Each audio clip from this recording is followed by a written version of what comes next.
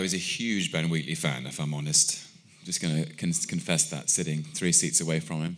Um, right, it's not awkward when you're that that, that far away. if we were next to each other, I'd yeah, if we were next to each other, it would be awkward. But I can say it with this distance. Um, I, yes, um, the three films I'd seen uh, at that point were Kill List, Sightseers, and The Field in England. I hadn't yet seen Down Terrace, but I did see it after after we met.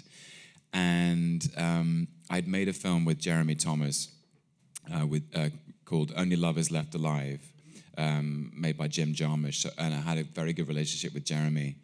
And um, I, he sent me the script, and and it was very exciting that Ben was attached to it, and um, the combination of, of Ben's taste and Ballard's sensibility was intoxicating. I think to me, it seemed incredibly.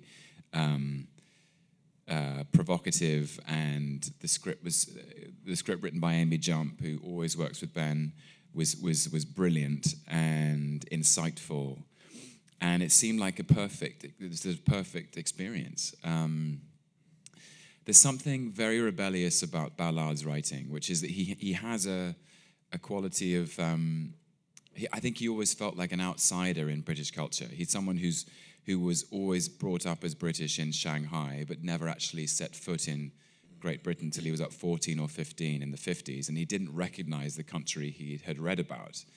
And, and even though he was a very, um, a very kind man, a very urbane man, very sophisticated chap, as people attest to, he, in his, his imagination was huge, and, um, think he's got this extraordinary um, insight into British culture, which is really what High Rise is. It's, it's, a, it's a dissection of, of a certain slice of British society.